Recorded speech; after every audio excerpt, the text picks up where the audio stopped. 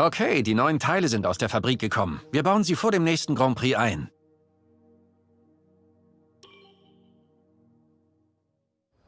Danke, dass Sie mich in Ihr Hauptquartier eingeladen haben. Reden wir darüber, wie Sie diese Saison abgeschnitten haben.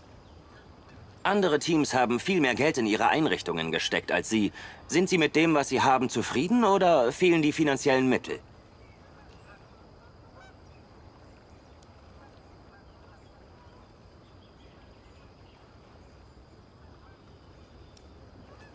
Ich habe viele Arbeiten gesehen, die wie Strapazierfähigkeitstests aussehen.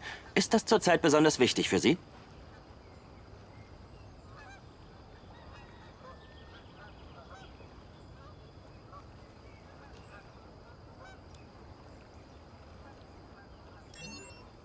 Es ist wohl eindeutig, dass Sie sich vor allem auf die Fahrerausbildung konzentriert haben. Ist das korrekt?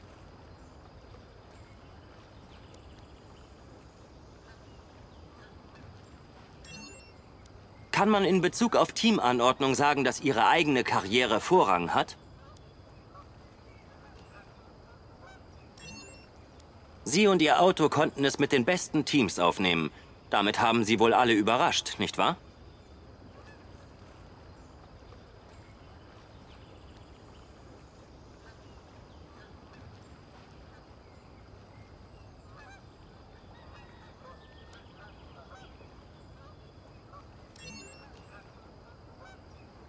Ich danke vielmals für das Gespräch. Es war wie immer eine Riesenfreude.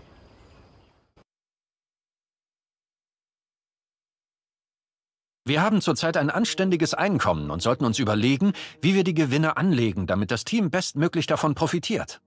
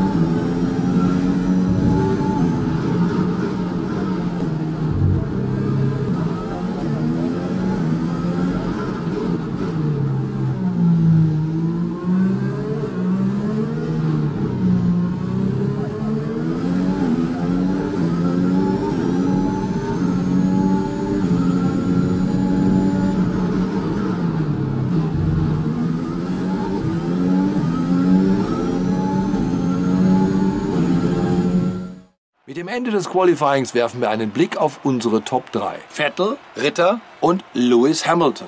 Das Qualifying ist beendet, jetzt können wir uns aufs Rennen freuen. Morgen sind wir live und ohne Unterbrechungen beim großen Preis dabei, also auf gar keinen Fall vergessen einzuschalten.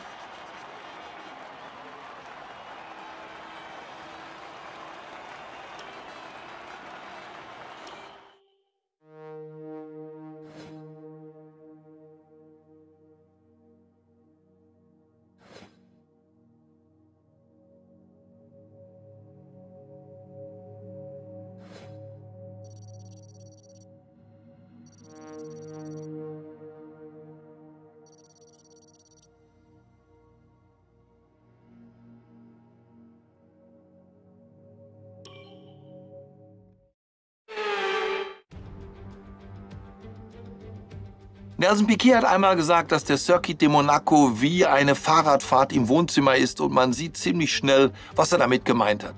Einen Grand Prix zu gewinnen ist nirgendwo so prestigeträchtig wie hier in Monaco. Aber dafür ist es auch nirgendwo so schwierig. Wir sind an diesem Wochenende einmal mehr an der französischen Riviera beim 3,22 Kilometer langen Circuit de Monaco. Die Autos klettern etwa 40 Meter den Hügel hinauf, am Casino vorbei, bevor sie in Sektor 2 zum Hafen hinunterfahren. Es ist ein sehr kurzer Weg von der Pole Position zur ersten von 19 Kurven und hier werden wir heute vermutlich nicht sehr viele Überholmanöver sehen. Stefan Römer ist heute wieder bei mir in der Kommentatorenbox. Sei gegrüßt, Stefan. Ich bin neugierig. Als jemand, der selbst Streckenerfahrung hat, wie kommt man mit der Nervosität zurecht, wenn man seine Startposition einnimmt? Ich denke mal, Sie werden langsam das Adrenalin spüren, wenn Sie an den Weg zur ersten Kurve denken. Fast so, als ob man sich auf einen Kampf vorbereiten würde. Die unbekannte Situation fordert Nerven, doch das ist gut. So konzentrieren sich alle auf den Moment und ihre Umgebung, während wir auf den Start des Grand Prix zusteuern. Sehen wir uns kurz die Startaufstellung für das heutige Rennen an, bevor es losgeht. Sebastian Vettel hat eine leere Strecke vor sich. Er startet von der Pole. Und Ritter macht die erste Reihe komplett. Und die übrige Startaufstellung ist wie folgt. Hamilton, Verstappen, Daniel Ricciardo und Perez. Norris, Bottas, Leclerc und Pierre Gasly. Sainz, Tsunoda, Antonio Giovinazzi und Stroll. Eilert, Mick Schumacher, George Russell und Nicola Latifi. Aitken, Mazepin und Guan Yu Zhu. Gleich werden die fünf roten Lichter erlöschen und wir sind gespannt, wer heute hier triumphieren wird. Now that we've got some points on the board, let's continue this form and aim for another top 10 finish.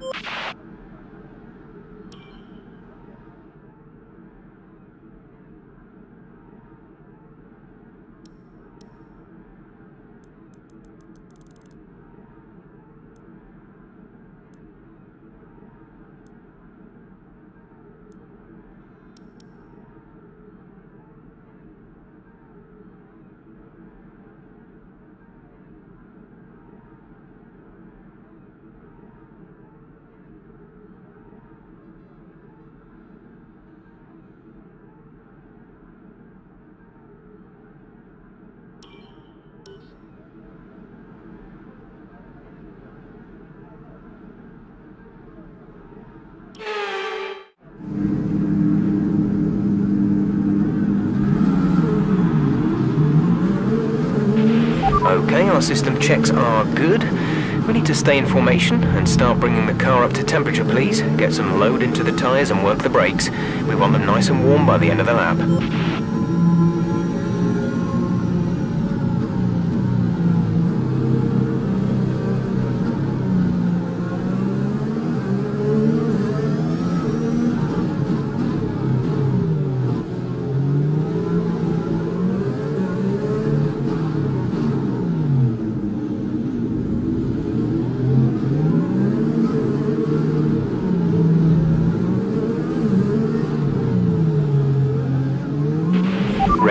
Is clear. Weather is looking good for now.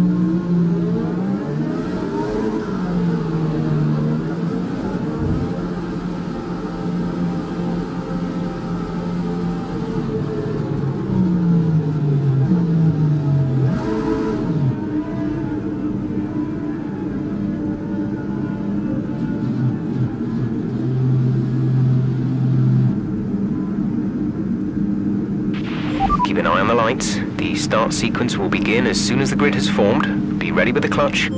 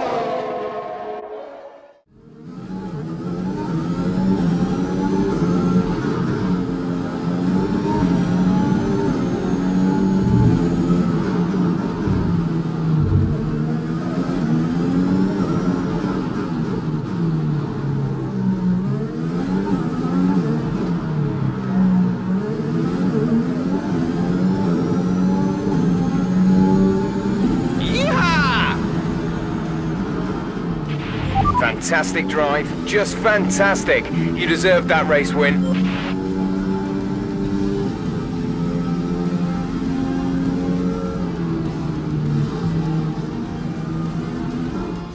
Das war's, das ist der Sieg hier in Monaco und das mit einer überzeugenden Leistung, auf die man noch jahrelang stolz sein kann. Stefan, sag mir, was hat Ihnen heute dabei geholfen, diesen Erfolg zu verwirklichen?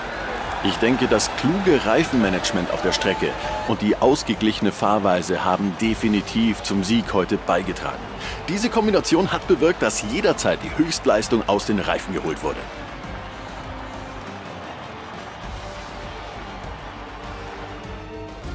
Die Gesichter der drei Bestplatzierten sehen unglaublich glücklich aus, während sie sich auf das Podest begeben.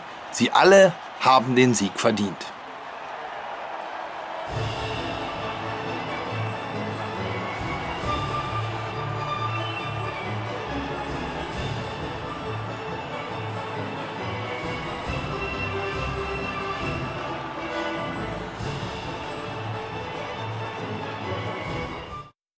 Ritter übernimmt die Führung in der Fahrermeisterschaft. Also Stefan, wer ist für dich der Fahrer des Tages? Heiko, Daniel Ricciardo ist für mich wohl der Fahrer des Tages. Es ist weniger das, was er richtig gemacht hat, sondern wie wenig er falsch gemacht hat. Ein perfektes Rennen. Es ist Zeit, einen Blick auf die Situation in der Konstrukteursweltmeisterschaft zu werfen. Keine Veränderung an der Spitze, aber mit den Punkten von heute wird die Führung deutlich wackeliger. In der Zwischenzeit kann Alpha Tauri mit einem starken Wochenende weiteren Boden in der Rangliste gut machen. Und damit geht ein weiteres Formel-1-Wochenende zu Ende. Ein Lichtblick sind die Rennen, die noch vor uns liegen. Also seien Sie auch bei denen definitiv wieder mit am Start.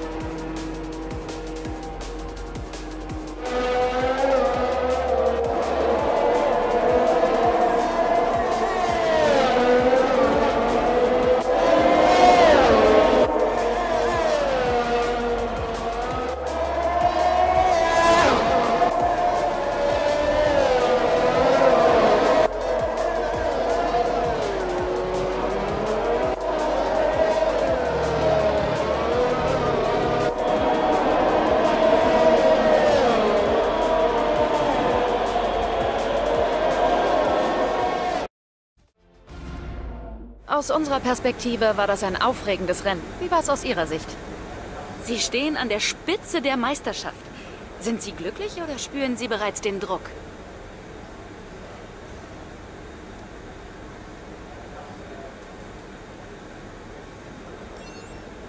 Sie haben sich im Vergleich zum letzten Wochenende deutlich besser geschlagen.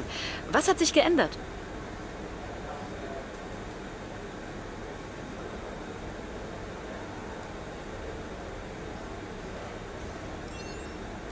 Wir haben sie wohl alle unterschätzt, nicht wahr?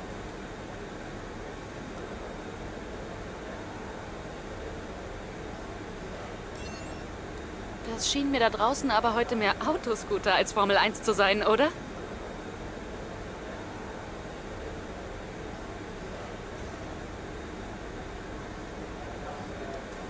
Danke für den Kommentar.